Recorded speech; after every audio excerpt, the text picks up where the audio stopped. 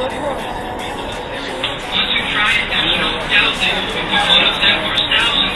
more everything. Anything to drink?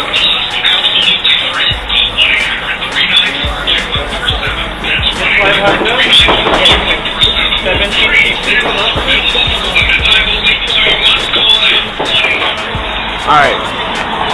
Check this out.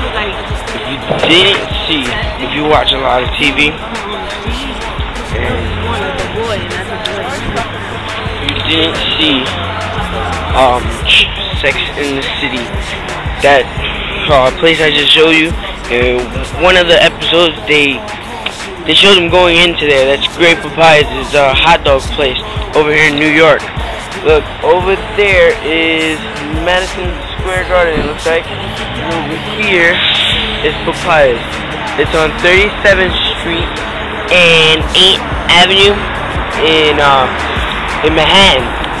And that's pretty much it.